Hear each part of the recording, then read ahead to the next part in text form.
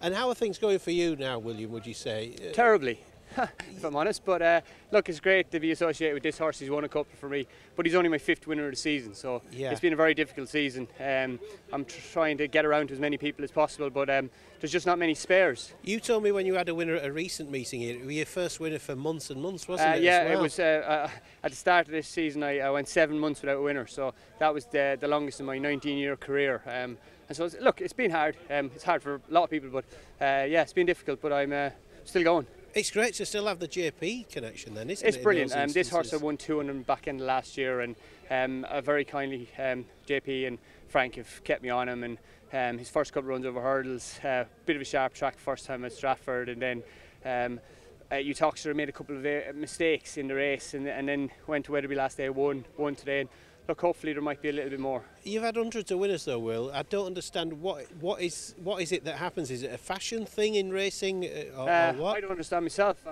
I'm, I'm as fit as I've ever been. I do 10 stone any day of the week.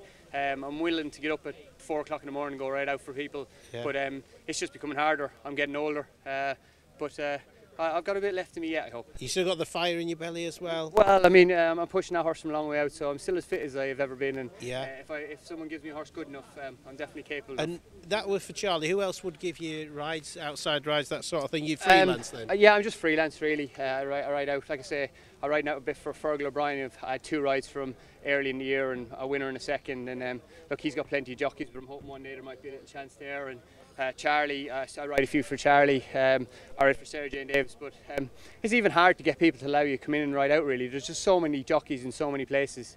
But um, if anybody does want me, give me a shout. Well advertised. You sold it well. Well Thanks done today, Will. Cheers. Thank, you. Cheers.